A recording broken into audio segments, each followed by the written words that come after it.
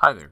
Today I'll be showing you how to do a simple lockdown on your Android mobile computers using SOTI's MobiControl software. As you can see, right now we are currently on our main dashboard. So to get a lockdown on the device, we need to create what is called a profile. First, we're going to go to the top left menu here, click on that, and then go to Profiles. Here we can go ahead and create a new profile by clicking New Profile on the top right. And since we're working with Android, I'll be selecting Android Work Managed. This is completely dependent on if your device is using Android Enterprise enrollment or if it's using a classic Android for Work, Android Plus enrollment.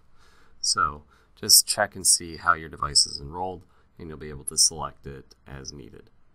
In this case, I'm enterprise enrolled, so I'm going to go to work managed and then I can give the profile a name. And if I feel like it, I can give it a description. It's not necessary. Um, that is up to your discretion. Then we're going to go to configurations, and there's two configurations we need to pay attention to. If we click the plus sign here, we can see all of them, but we're mainly going to need authentication and lockdown. Authentication is going to allow you an admin mode when the lockdown is on the device. So if you have the lockdown on there, it actually will not install unless you have an authentication profile. So we need both of those. So let's go ahead and click on authentication. I'll give it just a simple password of 1234. And then I will also go ahead and add our lockdown. Now, it's going to pop up a screen that looks like this, and this is what we're mainly going to worry about currently. We need to add something to the home screen, otherwise you won't have anything that you can actually do on the device. So we can click the plus sign here, it'll pop up another screen, and then we can give our application a display name. In my case, I'm going to try using Velocity because that is installed um, from the factory on my Zebra MC93. So I'll give it the name Velocity, and then we need to give it a launch script. So in this case, it's going to be similar to a website address, um, only instead of HTTP, we'll be saying launch. And then we need to give it a package name. You can find the package name either from the software vendor or after being installed in, onto the device under the Applications tab when inspecting a device in the dashboard. So in my case, it will be com.wavelink.velocity. If you'd like, you can use a custom image and upload one, um, or you can select it from the image library that is existing in MobiControl in my case, I'm just going to use the default one. Um, if you'd like, you can also start it automatically on startup, so the user does not have to worry about launching it on their own.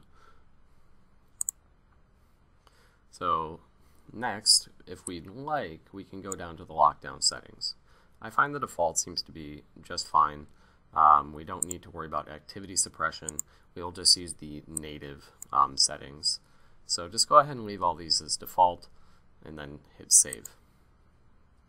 After we have completed this, we can hit Save and Assign.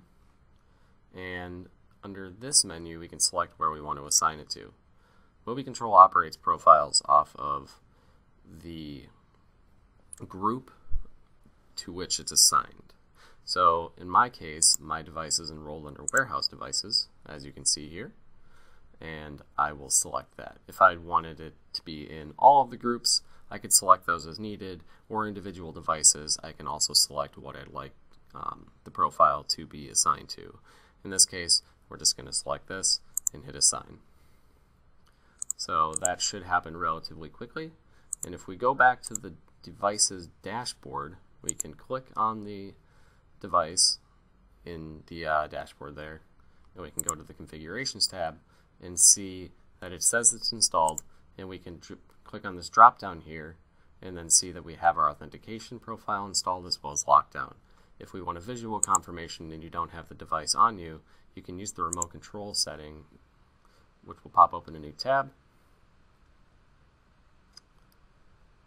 Give it just a moment to load.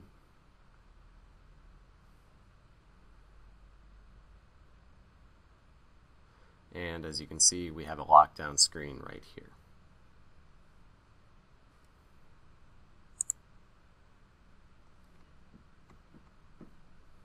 Thank you for watching.